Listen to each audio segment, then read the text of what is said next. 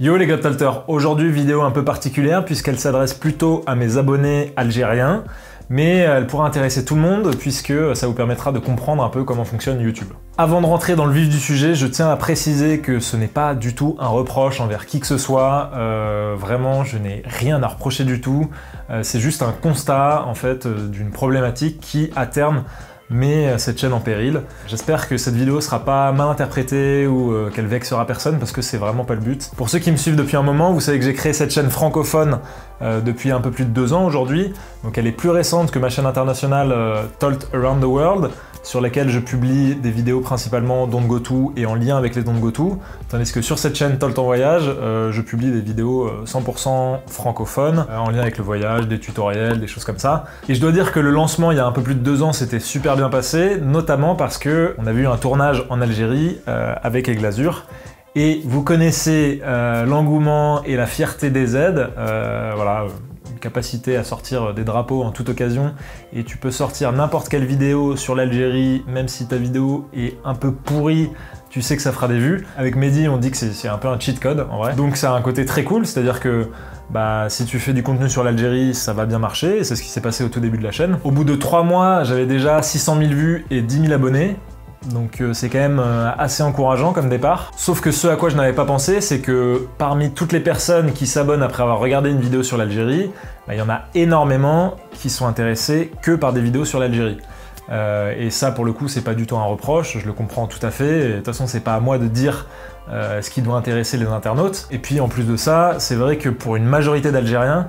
c'est pas forcément très facile euh, de voyager, que ce soit au niveau administratif pour avoir des visas ou au niveau financier, parce qu'évidemment ça coûte assez cher de voyager.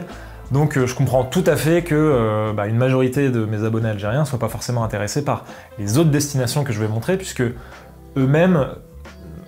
peuvent pas forcément voyager vers cette destination. Sauf que ce que vous ne savez probablement pas, c'est que à terme, euh, tout ça met en péril la chaîne. Parce que en gros, lorsque je publie une vidéo, eh bien YouTube fonctionne de la façon suivante, c'est-à-dire qu'il va distribuer la vidéo, il va montrer la vidéo à une portion infime de mes abonnés. En fonction des résultats que la vidéo va avoir sur cette portion de mes abonnés, eh bien, il va la distribuer à plus de monde, la montrer à plus de monde. Et évidemment, le fait d'avoir beaucoup de gens qui sont pas forcément intéressés par d'autres destinations que l'Algérie, ça fait que lorsque YouTube euh, distribue la vidéo à cette petite portion de mes abonnés, les résultats sont pas forcément bons, puisque, imaginons, il le distribue à 100 euh, abonnés. Sur les 100 abonnés, il y a peut-être, euh, je sais pas, 70 euh, Algériens. Et sur les 70 Algériens, il y en a la moitié, voire plus, qui n'est pas intéressé à la vidéo et qui va pas la regarder. Donc forcément, ça fait déjà une grosse part de cette première audience qui ne va pas regarder la vidéo et donc euh, YouTube va se dire bah en fait c'est une vidéo qui est pas intéressante et du coup il va pas la montrer à d'autres abonnés ou à d'autres gens sur, euh, le web. Et à mon sens c'est plutôt une bonne façon de juger de la qualité et de l'intérêt d'une vidéo, hein, on va pas se mentir. Euh, sauf que dans mon cas, eh bah, ça se résume plutôt à est-ce que c'est une vidéo en lien avec l'Algérie ou pas? Si je grossis un peu les traits, c'est un peu ça.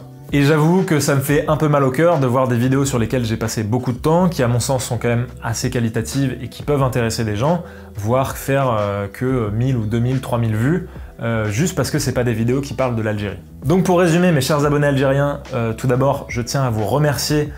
vraiment pour l'engouement que vous avez montré pour les premières vidéos sur l'Algérie. Évidemment que le succès de ces vidéos a participé au développement de mes réseaux et tout ça, et si